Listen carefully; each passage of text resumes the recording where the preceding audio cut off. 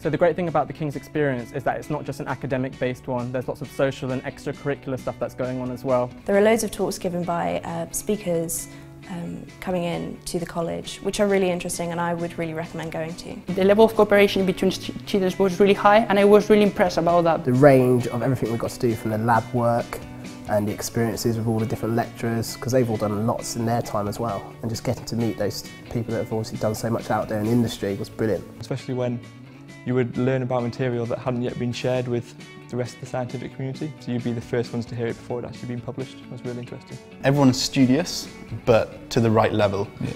There's a good balance between, you know, wanting to further themselves in an educational, academic manner, but also, yeah.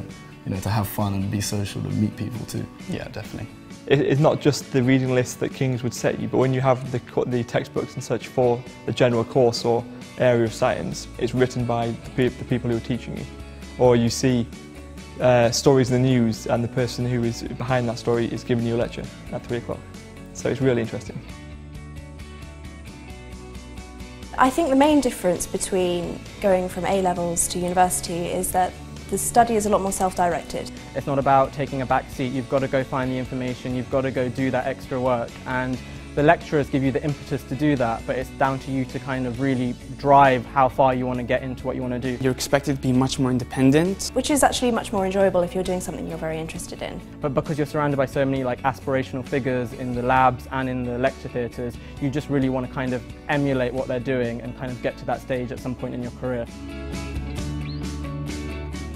I think you need to find something outside of your academic work. Um, for me, I actually took up rowing when I came to university and it was great because I developed and cultivated a whole group of friends outside of my course, which I think is really important. Any tips I'd give anyone entering university is just remember to have a really good time. University is a great place to meet new people. It's a great place to study something you're really interested in.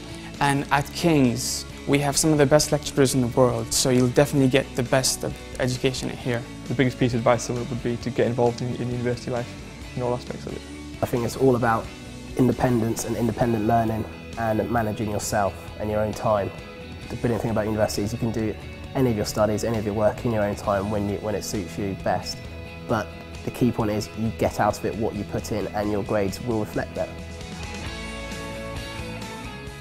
I think um, the typical King's graduate is um, quite confident and not scared of the big bad world. Yeah, I, agree. Um, we've been introduced to a, a very diverse community, you mm. know, uh, loads of different types of people from different areas. So, yeah, that's true. You know, we've got that kind of basis, that kind of understanding of how to interact when we get out there in the, in the, in the big bad world, as you call yeah. it.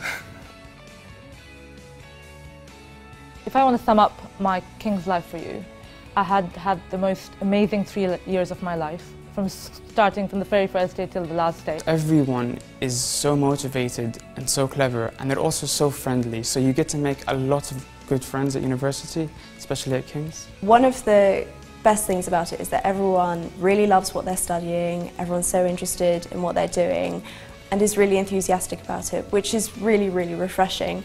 Um, and I would absolutely recommend to anyone that they apply to King's.